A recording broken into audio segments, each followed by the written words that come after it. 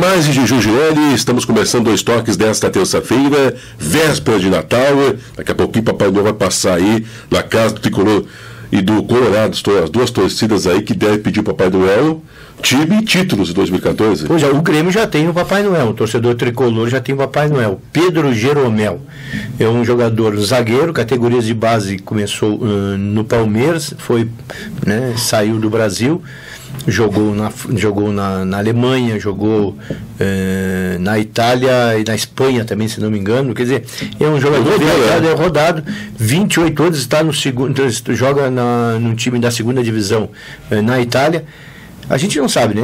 A informação que a gente tem é o mínimo possível. Eu já vi e li uma entrevista aqui de um jornalista é, italiano que passou sobre ele. Bom, o, ele ou o, a, o jornalista não entende nada, ou tem alguma coisa quando Pedro Jeromel, ou ele não joga nada, porque o, o que o, o que esse jornalista falou desse jogador foi algo incrível. Eu nunca tinha visto um jornalista dizer tanta coisa ruim ele é ruim por baixo, ele não antecipa, ele por cima é muito ruim, não sabe sair jogando, só dá balão. Eu nunca tinha visto uma pessoa, tanto é que a, a imprensa de Porto Alegre é, a todo momento coloca essa entrevista, né? mas não tanto pela informação que o, que o jornalista passou, e sim pela, pela entrevista um tanto assim difícil de alguém, alguém passar, né? E não pode ser tudo aquilo tão ruim assim. Mas é um jogador que vinha sendo acompanhado pela direção do Grêmio. O diretor de futebol do Grêmio falou, né, que vinha acompanhando. Não pode ser tão mau jogador assim. Mas quem indicou esse, esse jogador para o Grêmio? A indicação é, é, é assim, né? A indicação são empresários que indicam e aí os diretores tomam informações. Mas nesse caso, um jogador que não é conhecido, que não tem um passado, não tem um currículo né? Não é um jogador, por exemplo, o Paulão que o Internacional quer. Né? O Paulão jogou no Grêmio. É um jogador tosco, dá balão, dá babico, chuta para não virado, bola para o mato.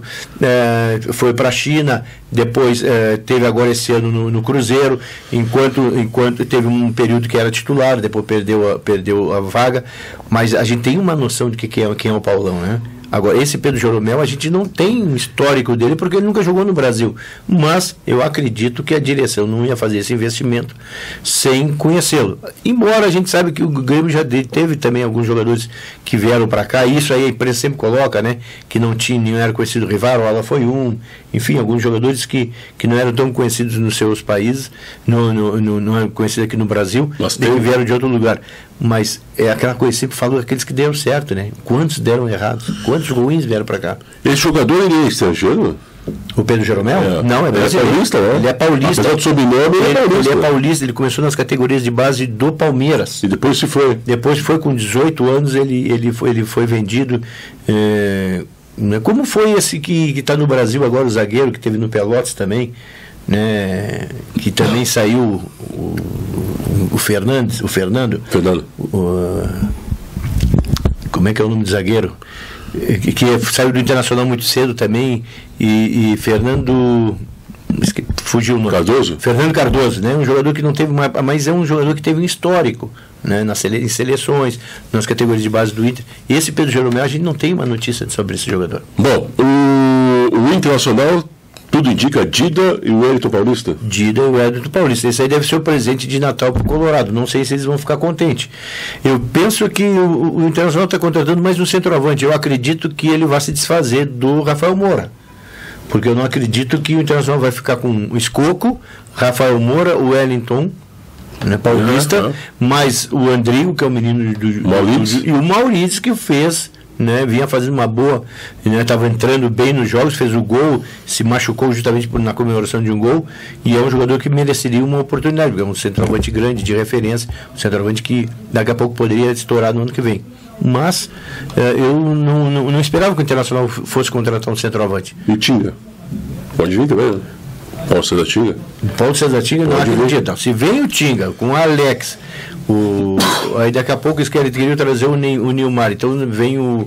Traz o Ney de volta, o Ney tá sobrando lá no Vasco. Ceará? Né? Ceará, não, o Ceará joga ainda, joga ainda, mas o Ney tá na, tava na reserva do Vasco é, que foi rebaixado. Né? Eu, eu, eu, particularmente, não acredito que esses jogadores é, retornem. Só veio, acho que só veio o Dida e o Wellington. É, o Wellington. E deverá sair alguém do ataque do Internacional. O Rafael Moura, ou daqui a pouco alguma negociação com o Escoco, ou até mesmo o próprio Forlan. Forlan fica, eu acho. Né? Mas é, o. Escoco acho que deu de sair. É, algum jogador vai sair para abrir o espaço para esses meninos estão subindo. Quem está de olho no, no Escoco é o Santos. Bom, rapidinho, esportivo. Esportivo ainda contratou o centroavante, o Robert, né? Robert, é. O centroavante que teve passagem por equipes que a gente conhece, Pelotas, São Paulo, né, Passo Fundo. Santa Cruz. E Santa Cruz também teve, mas a melhor período, a melhor fase dele, no meu, assim, que eu me lembro dele, foi no Lajadense, né? Que é um centroavante que é de movimentação, mas também entra na área, bate bem na bola. É, espero que e já jogou com, com o treinador né, do Esportivo com o Emerson lá na categoria Cruzeiro. de base do Cruzeiro. É um jogador que sim que a gente espera que o Esportivo precisava, né, um jogador mais já rodado e um centroavante. Não sei se esse seria o jogador que o torcedor gostaria, mas é um centroavante que a gente tem que esperar para ver que resultado vai dar. Logicamente que o treinador conhecendo facilita para ele e facilita também para o jogador. E a gente que está de fora a gente quer ver se esse resultado vai é, realmente ser efetivado dentro das quatro linhas. Professor Feliz Natal.